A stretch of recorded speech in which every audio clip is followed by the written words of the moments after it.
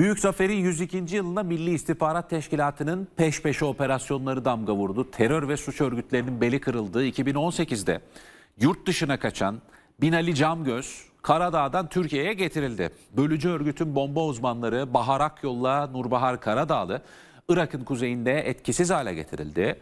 PKK-KCK'ya eleman ve mali kaynak sağlayan Deniz Daniel Korkmaz ise Şanlıurfa'da yakalandı. Fransa vatandaşı Korkmaz sınır dışı edildi.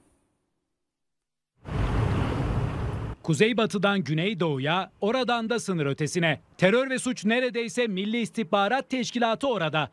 30 Ağustos Zafer Bayramı'nda kritik operasyonlar birbirini izledi. Üç farklı noktada iki örgüte ağır darbe indi. Suç örgütü kurma, cinayet, tehdit, adam kaçırma hatta uyuşturucu ticareti. Elleri kelepçeli, tekerlekli sandalyede oturan bu kişi deyim yerindeyse tam bir suç makinesi. 41 suç kaydı, 25 ayrı suçtan da ulusal düzeyde arama kaydı var. Deniz Kod adlı Binali Camgöz, Camgöz grubu olarak bilinen İzmir merkezli organize suç örgütünün lideri. 2018'de Gürcistan'a kaçtı. 2020'nin başında sahte pasaportla Belarus'a geçti. Sonraki rotası Karadağ oldu. Mehmet Ali Bayhan adına düzenlenmiş sahte kimlikle Temmuz 2022'de burada tutuklandı. Milli İstihbarat Teşkilatı devreye girdi. Deniz Kod adlı suç örgütü lideri iade edildi. İkinci operasyonun adresi ise Irak'ın kuzeyi. Bu kez hedefte bölücü örgüt var. Bomba uzmanı Faraşin Gabar kod adlı Bahar Akyol ile Ticla Jiyan kod adlı Nurbahar Karadağlı Hakurk'ta etkisiz hale getirildi.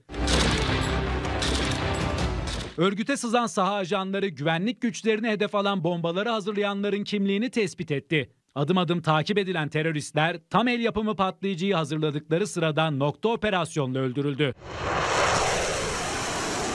Terörle mücadele sadece sınır ötesinde yoğunlaşmadı. Bu kez Fransa yapılanmasına ağır darbe vuruldu. PKK, KCK mensubu Dönis Daniel Korkmaz Şanlıurfa'da yakalandı. Fransa vatandaşı örgüt mensubu ülkesinde PKK, KCK adına para topluyordu. Gençlerin beynini yıkıyor, örgüte adam kazandırıyordu. Farklı isimler kullanması nedeniyle rahat hareket ederken kamufle olacağını sanıyordu. Ancak MIT'ten kaçamadı. Halfeti ilçesinde olduğu belirlenen örgüt mensubu Şanlıurfa İl Jandarma Komutanlığı ortaklığıyla kız kıvrak ele geçirilerek gözaltına alındı.